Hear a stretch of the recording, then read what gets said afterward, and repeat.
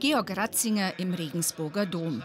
Anlässlich seines 95. Geburtstages eine Messe mit Bischof Rudolf Voderholzer. Die letzten offiziellen Bilder des fast erblindeten früheren Domkapellmeisters. Ihr ganzes Leben sind die Brüder Georg und Josef Ratzinger eng verbunden. Auch als Josef Papst Benedikt wird, kommt der drei Jahre ältere Georg, so oft es geht, nach Rom.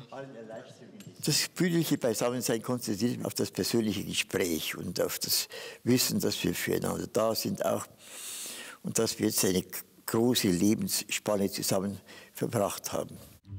Am 15. Januar 1924 kommt Georg als zweites Kind des Gendarmen Josef Ratzinger und seiner Frau Maria in Pleiskirchen bei Altötting zur Welt.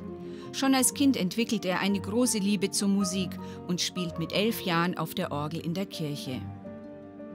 In Traunstein besucht er das Gymnasium und das erzbischöfliche Studienseminar genauso wie etwas später auch sein Bruder Josef. Dieses Vorangehen von ihm war für mich immer sehr wesentlich, äh, sozusagen meinen eigenen Weg finden zu können.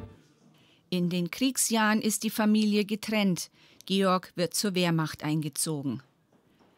Nach dem Krieg tritt er gemeinsam mit seinem Bruder ins Priesterseminar der Erzdiözese München und Freising ein.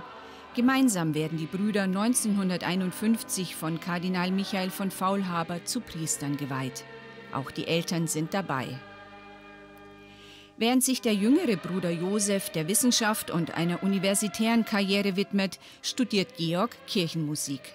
Ich habe in meiner Laufbahn zum Priestertum hin durch immer wieder gebetet, lieber Gott, gib mir eine Aufgabe, wo ich beides miteinander verbinden kann das musikalische und das religiöse, missionarische, seelsorgliche.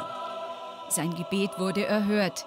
Bekannt wird Georg Ratzinger als Domkapellmeister der Regensburger Domspatzen. Von 1964 bis 1994 leitet er den weltberühmten Knabenchor, dirigiert rund 1000 Konzerte im In- und Ausland. 2017 wird das Ausmaß der dunklen Seite des Chores öffentlich. Im Zusammenhang mit der Aufklärung von Missbrauch und Gewalt bei den Domspatzen wird Georg Ratzinger vorgeworfen, weggeschaut zu haben. Opfer bezeichnen ihn als notorischen Schläger. Er selbst gesteht ein, Ohrfeigen verteilt zu haben. Der ursprüngliche Wunsch der beiden Brüder, ihren Lebensabend gemeinsam in Pendling bei Regensburg zu verbringen, wird nicht erfüllt.